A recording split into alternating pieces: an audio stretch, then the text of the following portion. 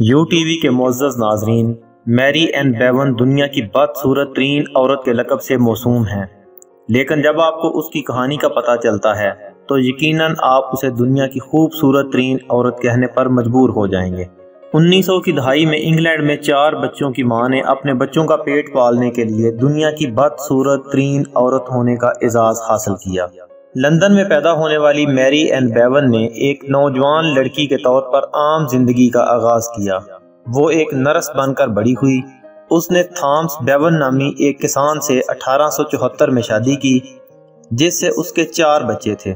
शादी के कुछ साल बाद उसकी सेहत बिगड़ने के आसार ज़ाहिर होने लगे। एक्रोमेगाली नाम की बीमारी में वो मुबतला हुई, जिससे जिसम ज़रूरत से ज़्यादा बढ़ने के हारमोन्स पैदा करना शुरू कर देता है। इस बीमारी के नतीजे में बैवन के बसूरत दीगर नॉर्मल हाथ और पाँव तमाम तनासब से बढ़ गए। इसकी पेशानी और निचला जबला बाहर की जानब बढ़ गया। इसकी नाक वाजिया तौर पर बड़ी होना शुरू हो गई।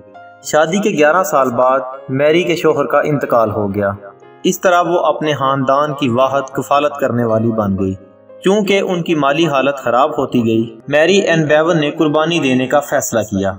उसकी बदलती हुई शक्ल ने उसे काम तलाश करना और मुश्किल बना दिया था, और उसने अपने खानदान को सहारा देने के लिए अजीबो गरीब मुलाजमतों का सहारा लिया। इस बीमारी ने इसे मुस्तकिल तौर पर बिगाड़ दिया था। बरसों बाद एक सबका फेयर ग्राउंड वर्कर ने दावा किया कि वो एक किसान है जिसके लिए वो काम करती थी, जिसने बैवन को बताया कि वो सबसे बदसूरत औरत के मुकाबले के लिए बेहतरीन है या मौजू है। उसकी बातों को दिल में लेते हुए बेवन ने जल्द ही घरेलू तरीन औरत के मुकाबले में हिस्सा लिया। या यूँ कह लीजिए कि बदसूरत तरीन औरत के मुकाबले में हिस्सा लिया और मशकूक टाइटल हासिल करने के लिए 250 खरीफों को आसानी से शिकस्त दी। बेवन की जीत ने इसे साइड शो के मालकान की तवज्जो दिलाई और चूँकि डॉक्टर ने उसको यकीन दिलाया था कि उसकी हालत मजीद खराब हो सकती है, इसलिए उसने अपने बच्चों का पेट पालने के लिए इस मौके से फ़ायदा उठाने का सोचा।